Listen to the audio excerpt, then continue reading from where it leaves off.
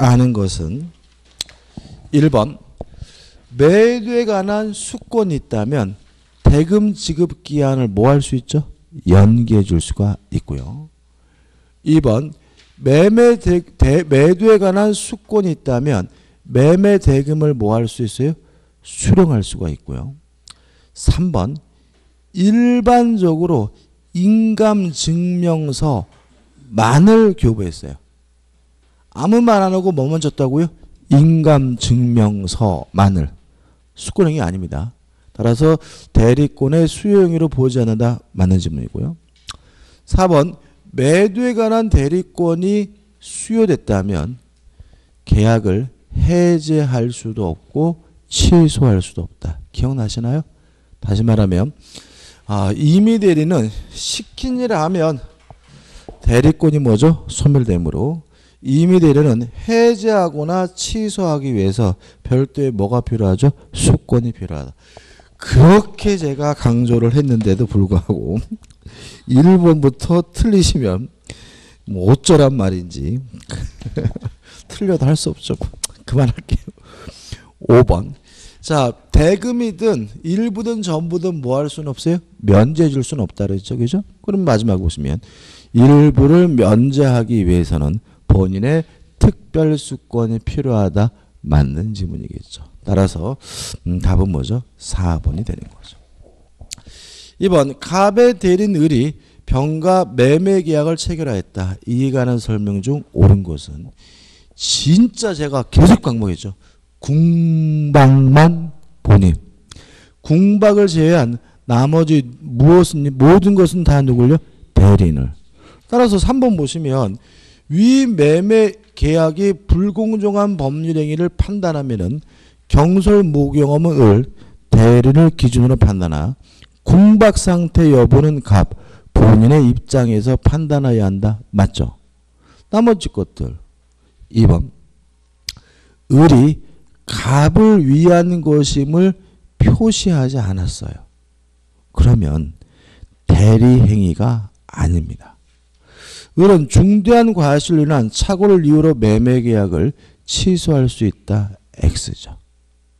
갑을 위한 것임을 표지 않았으면 얘는 아예 뭐가 아니에요? 대리가 아닙니다. 또 어, 현명하지 않았다면 자신이 전적으로 책임을 져야 되고요.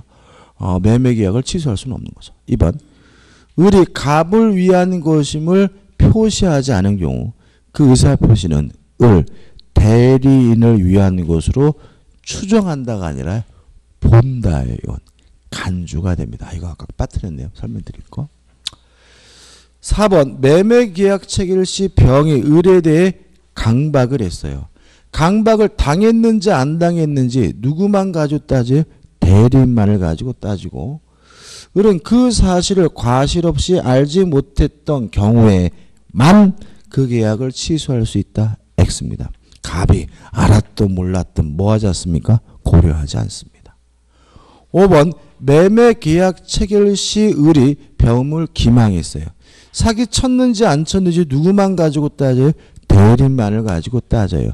본인을 알았는지 몰랐는지 뭐 하잖아요? 고려하지 않으므로 갑이 그 사실을 몰랐 던 경우 병은 그 계약을 취소할 수 없다. X죠.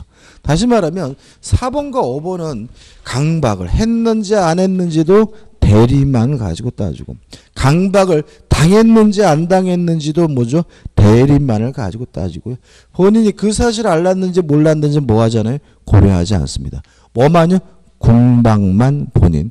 궁박을 제외한 나머지 모든 것들은 다 누구만을요? 대리만을 가지고 따지게 되는 거죠. 3번입니다.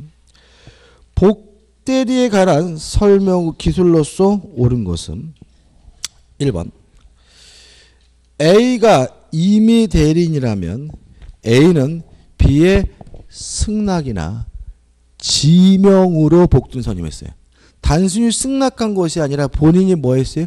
지명까지 했다면 원칙적으로 어, 복대리인 행위에 대해서 본인 아, 대리는 책임지지 않습니다. 따라서 A는 선임 감독성의 과실이 있으면 책임이 있다. X가 됩니다.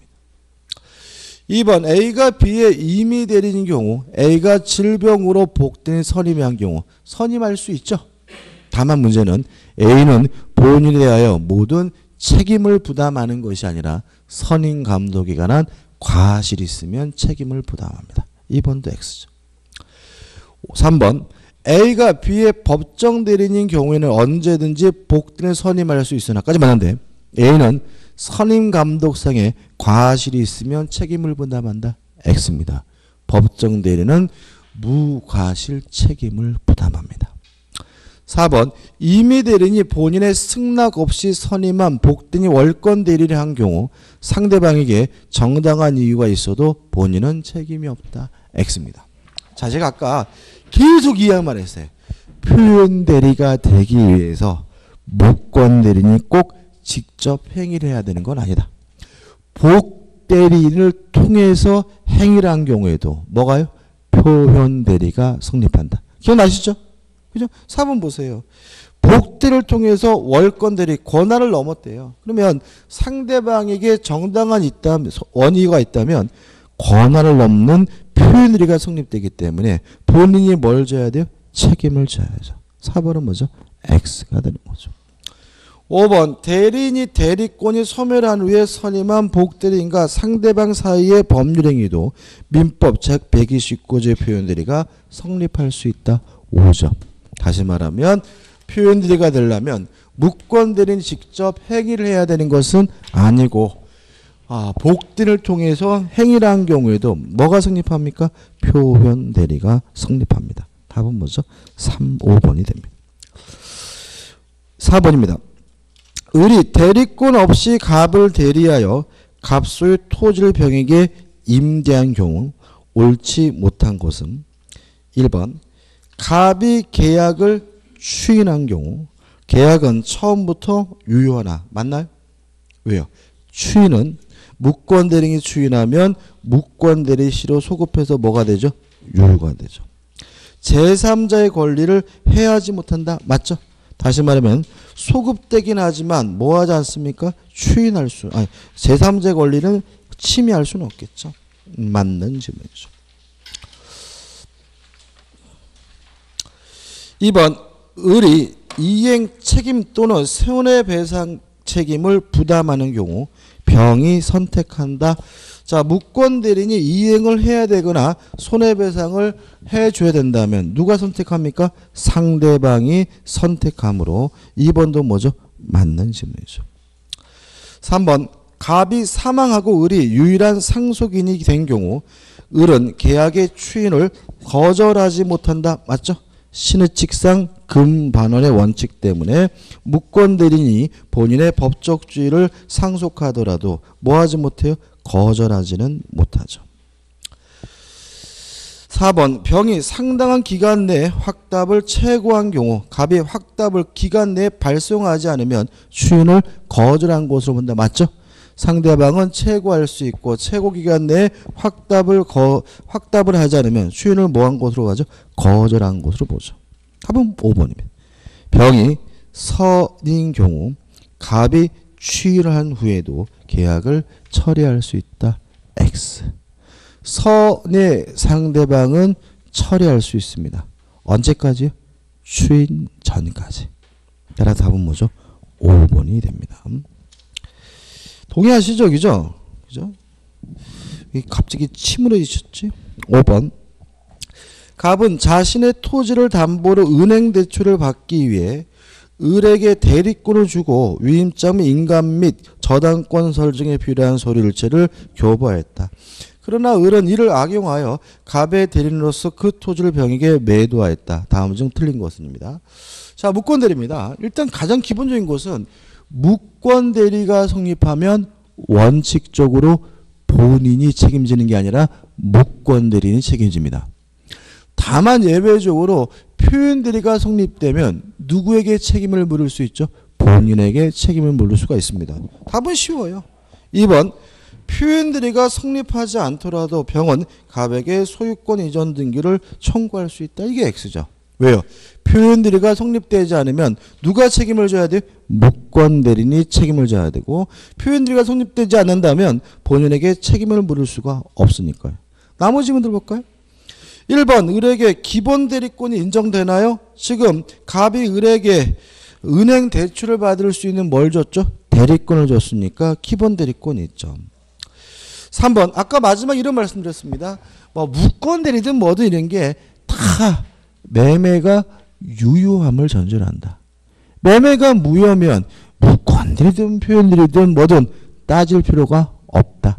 3번 매매 계약이 토지 거래 허가를 위반하여 확정적으로 무효이면 표현들의 법리가 적용될 여지가 없다. 맞는 질문이죠.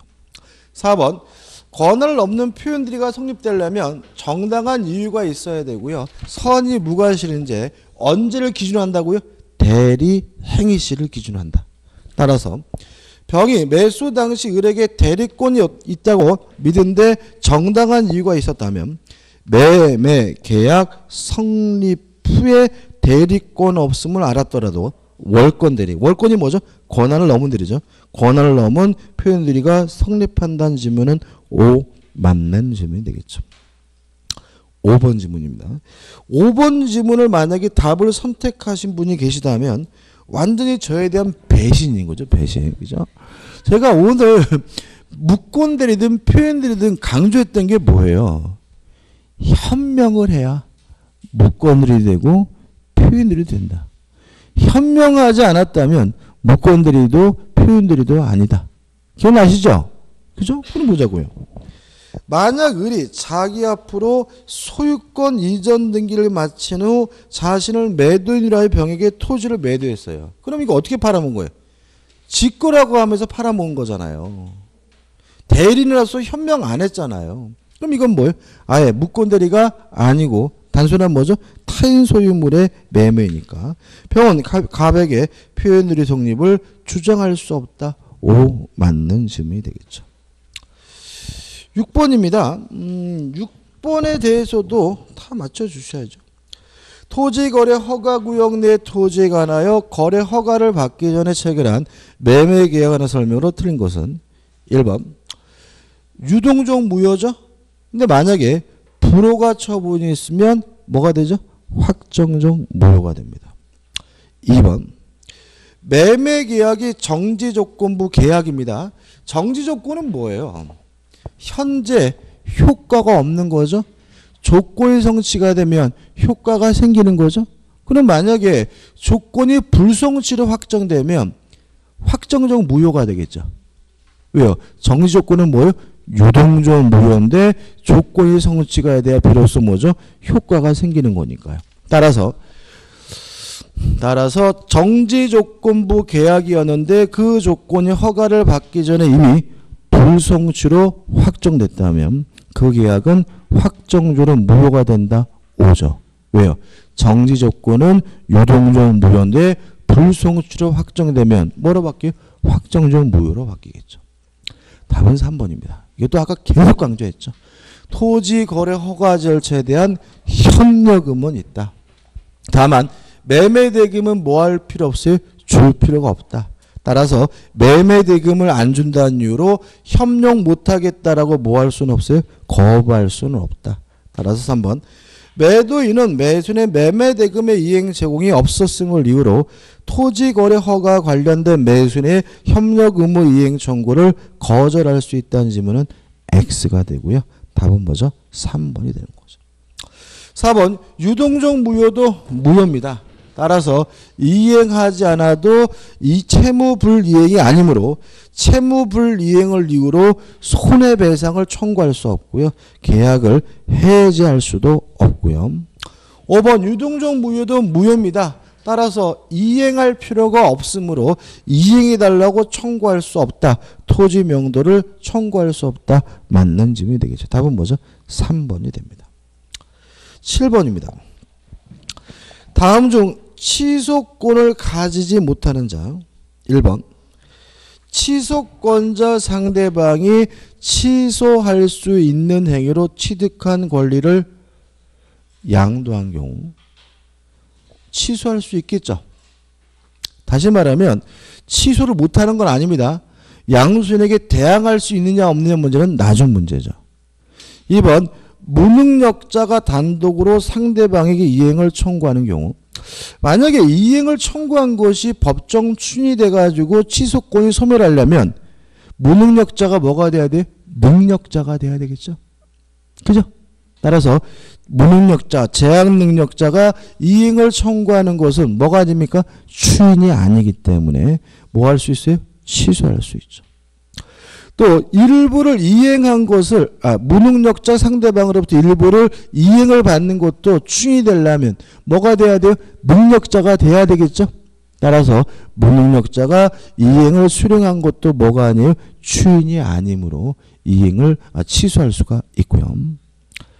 4번 사기를 당한 매도인이 상대방으로부터 소유권 이전 등기 청구를 받은 경우 자 이행의 청구가 추인이 되려면 누가 해야 돼요? 취소권자가 해야죠. 상대방이 이행을 청구하는 건 뭐가 아닙니까? 추인이 아니죠. 또래서 아직도 뭐 할 수 있는 거예요? 추인할 수가 있는 거죠. 답은 뭐죠? 5번이죠. 취소권은 행사기간에 제한이 있습니다.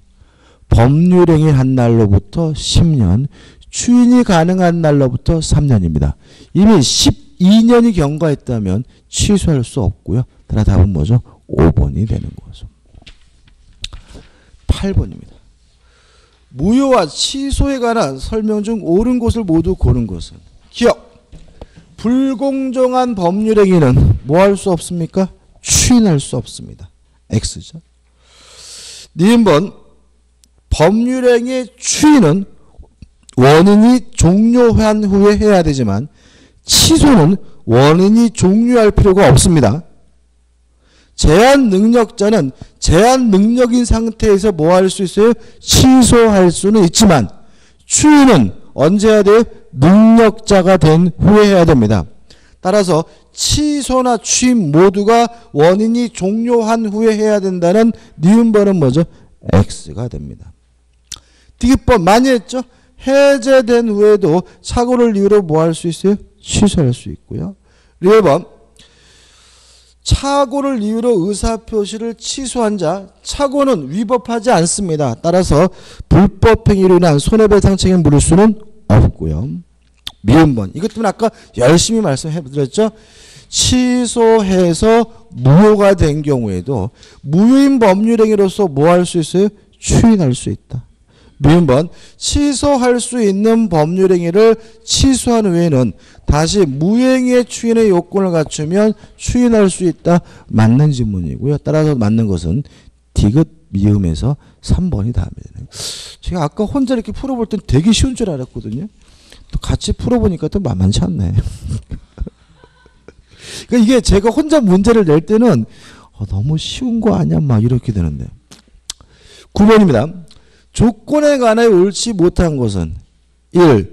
조건이 불능의 경우 어떻게 불정무 불해조죠? 따라서 정지 조건이면 무효고 해제 조건이면 조건 없는 법령이다. 맞네요. 또 2번 기정조 기해무입니다. 해제 조건이 법리상시 기성 조건이면 기해무 법률은 무효이다. 맞네요.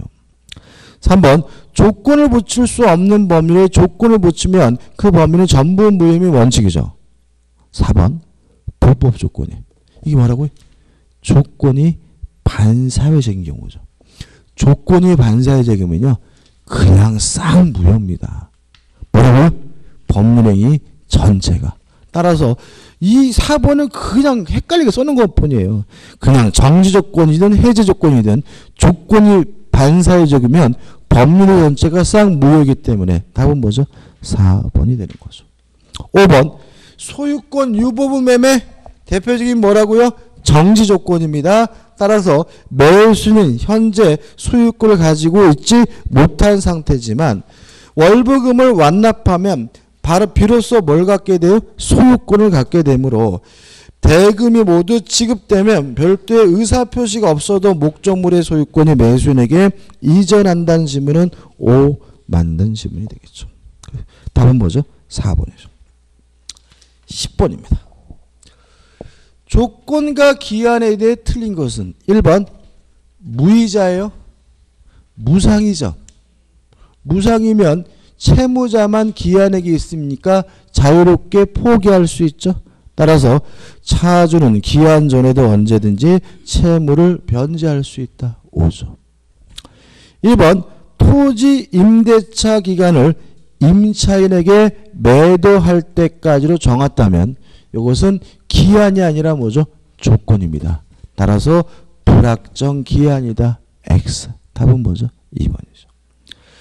3번 해제 조건이 성취되면 소급의 효력을 잃는 것이 아니라 조건이 성취한 때부터 효력을 잃는다. 다시 말하면 조건 성취 효과는 소급하지 않습니다.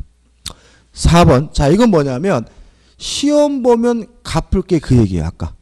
그러면 시험을 봐도 갚아야 되고 안 갚아도 뭐죠? 갚아야 됩니다. 왜냐면 그것은 조건이 아니라 뭐죠? 기한이니까. 4번 부관에 표시된 사실이 발생하지 아니하면 아 다시 한번요.